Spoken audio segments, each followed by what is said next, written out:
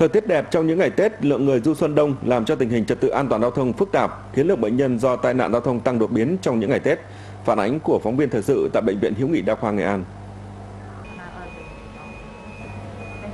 Ngày mùng 5 Tết Giáp Ngọ tại bệnh viện Đa khoa Nghệ An có đến 4 khoa quá tải là khoa hồi sức cấp cứu, thần kinh, tim mạch và sản. Công suất giường bệnh ở những khoa này là khoảng 200% trở lên. Phần lớn bệnh nhân nhập viện do bị tai biến mạch máu não, suy hô hấp, tăng huyết áp, đặc biệt là bệnh nhân do tai nạn giao thông. Riêng ngày mùng 2 Tết, bệnh viện tiếp nhận 34 trường hợp tai nạn giao thông. Thiếu giường bệnh, thiếu máy thở khiến cho việc theo dõi, điều trị càng trở nên khó khăn hơn. Số lượng bệnh nhân bị tai nạn giao thông tăng lên, tăng lên và cái, cái những cái bệnh nhân khoa hồi sức tiếp nhận thì tình trạng rất nặng nề và đa phần là phải uh, thở máy. Theo báo cáo của bệnh viện, thì chưa có năm nào số lượng bệnh nhân cấp cứu và điều trị nội trú trong những ngày Tết Nguyên đán lại đông như năm nay. Trung bình mỗi ngày bệnh viện tiếp nhận khoảng từ 120 đến 150 bệnh nhân và lượng bệnh nhân nội trú luôn ở mức 450 đến hơn 500 người.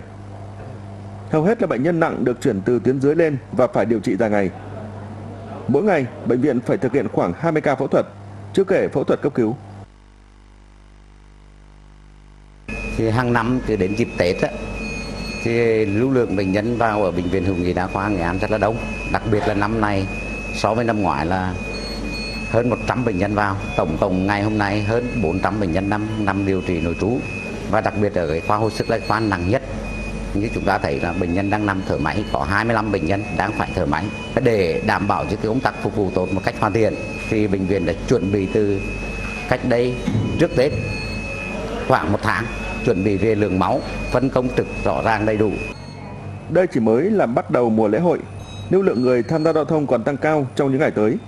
Vì vậy người dân khi tham gia giao thông cần phải chấp hành luật lệ an toàn giao thông để không xảy ra những sự việc đau lòng ảnh hưởng đến sức khỏe và tính mạng của chính mình và cộng đồng.